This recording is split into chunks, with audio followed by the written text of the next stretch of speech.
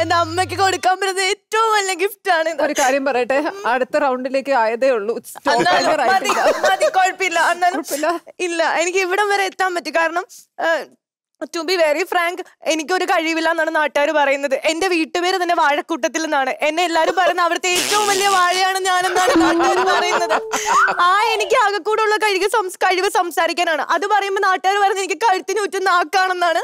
ആ നാക്ക് വെച്ചിട്ട് ഞാൻ ഇവിടം വരെ എത്തിയെങ്കിലും ഞാൻ പഠിച്ചിറങ്ങിയതേ ഉള്ളൂ.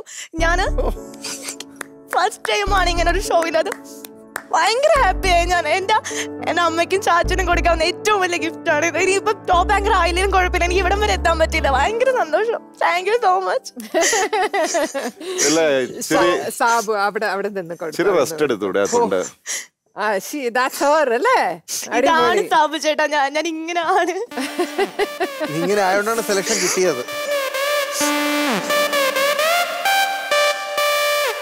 എന്തായാലും അമ്മ കൊന്ത ചൊല്ലിയത് ഏറ്റു. അതെ.